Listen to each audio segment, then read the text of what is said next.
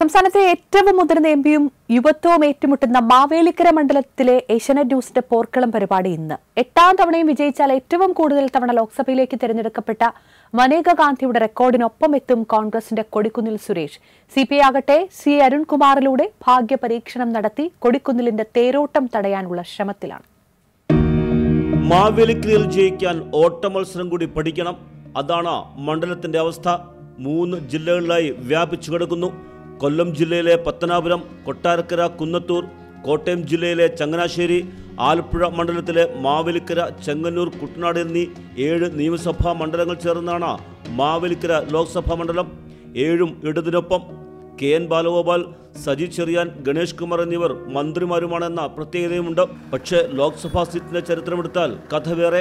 കഴിഞ്ഞ മൂന്ന് തവണയും കൊടിക്കുന്നിൽ സുരേഷിന്റെ തേരോട്ടമാണ് ഇവിടം മുൻ അടൂർ മണ്ഡലത്തിൽ നിന്നും ഇപ്പോഴത്തെ മാവേലിക്കര മണ്ഡലത്തിൽ നിന്നുമായി കൊടിക്കുന്നിൽ ഇതുവരെ മത്സരിച്ചത് ഒൻപത് തവണ. ഇത്തവണയും വിജയിച്ചാൽ മനേക ഗാന്ധിയുടെ റെക്കോർഡിനൊപ്പമെത്തും. ഏറ്റവും കൂടുതൽ തവണ ലോക്സഭയിലേക്ക് തെരഞ്ഞെടുക്കപ്പെട്ടയാളെന്ന ബഹുമതി ഈ തേരോട്ടം അവസാനിപ്പിക്കാൻ സി പി ഐ ഇത്തവണ രംഗത്തിറക്കിയിരിക്കുന്നത് യുവജന പോരാട്ട വിധികളിലെ സൗമ്യമുഖമായ സി എ അരുൺകുമാറിനെ. അഭിമാന പുരസ്സരം അവതരിപ്പിക്കുന്ന മാവേലിക്കരയുടെ ചെന്താരകം അഡ്വക്കേറ്റ് സി എ അരുൺകുമാർ ലോകം നിശ്ചലമായ കോവിഡ് കാലത്തും മഹാപ്രളയം തകർത്ത കാലത്തും അരുൺകുമാർ ചെയ്ത സേവനങ്ങൾ മുന്നോട്ട് വെച്ചാണ് സി പി ഐയുടെ പ്രധാന പ്രചാരണം.